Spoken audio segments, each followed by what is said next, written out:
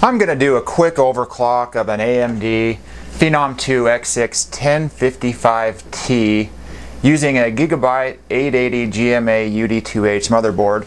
And this is really just meant to show you just how easy it is and if you want to go higher um, depending on what cooling you have then you can do that.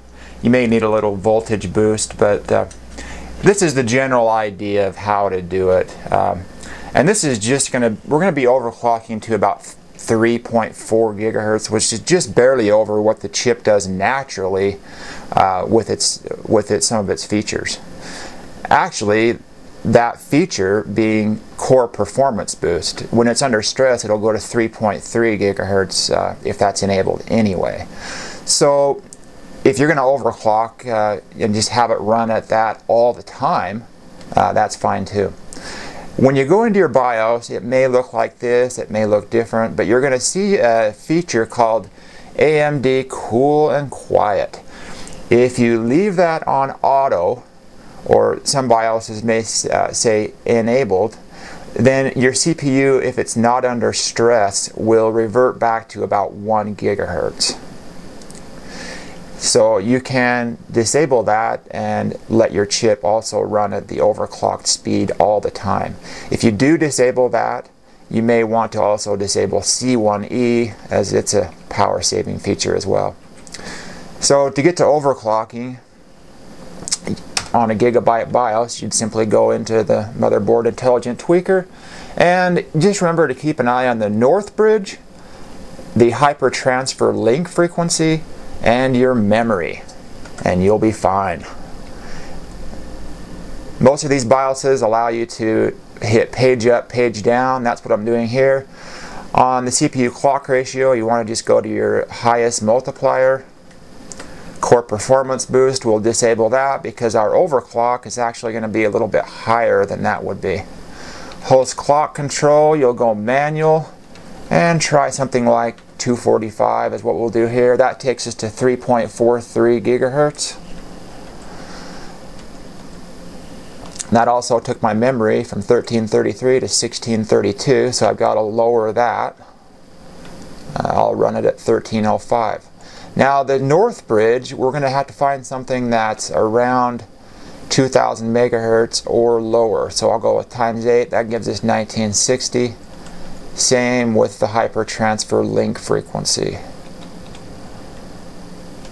So I've got my CPU at 3.43, bus at 245, memory at 1305. The only other changes I've made is hit, uh, taken my DRAM to 1.5 volts and I went into DRAM configuration changed this to manual and made these timings 88821 because that's what my memory uh, is designed to run at. You may want to check your memory and see what it's designed to run at and change those as well.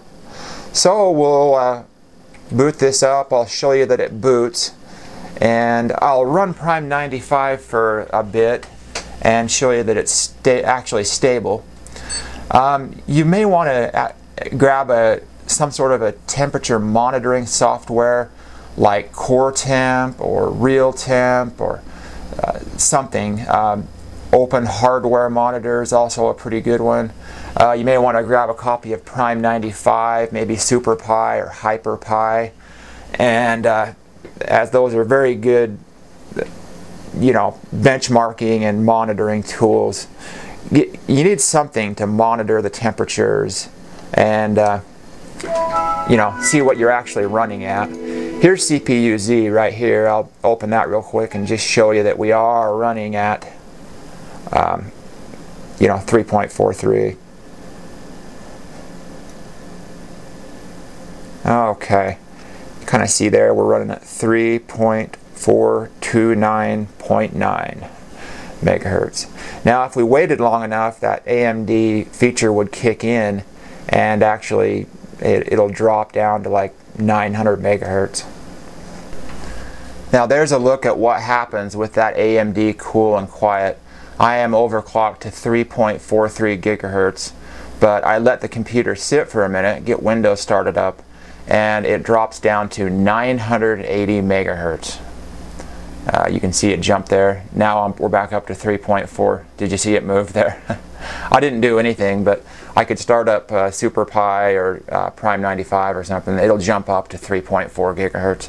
So I think it's actually a pretty cool thing to have, to be honest, even if you are overclocking. Okay, I've had Prime 95 running for about 45 minutes now. You can see there I'm at 3.43 gigahertz. It is an AMD Phenom 2 X6 1055T. You can see there I'm running an 880 GMA UD2H micro ATX motherboard. I did flash my BIOS to version F5 uh, just before I did this.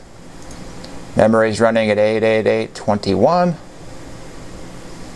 at uh, 653 megahertz in dual channel, so whatever that is, 13 something or other.